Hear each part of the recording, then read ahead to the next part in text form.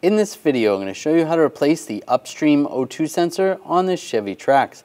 This is going to be located in the front part of the engine bay. Let's get into it. I'm going to disconnect the connector right here. I'm just going to use a trim tool. Just pop the retainer out. We can disconnect the connector here just going to use a straight blade screwdriver. Just push back on the tab and push it down. Disconnect that. And we're going to go down on the catalytic converter, disconnect the O2 sensor there.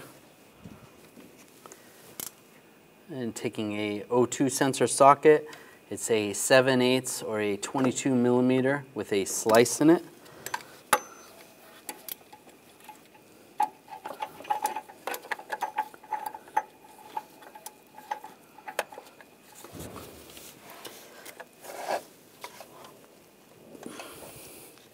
And loosen this up.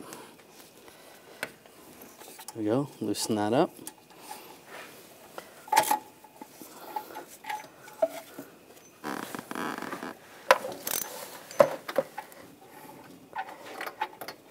Once you get it to break free, sometimes you can just take it out by hand. It'll be loose. And you can remove it. Take the O2 sensor and get it started. Snug that down the best you can by hand. And we'll torque this to 31 foot-pounds.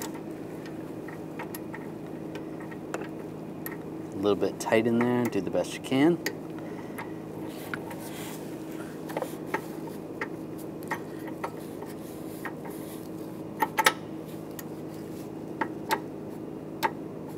There you go.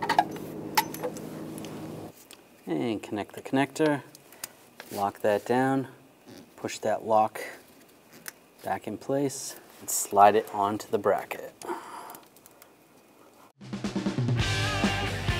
When only the best will do, demand TRQ. The only company that lets you view before you do. TRQ is committed to offering the highest quality aftermarket auto parts that are engineered for peace of mind. Thanks for using and viewing with TRQ.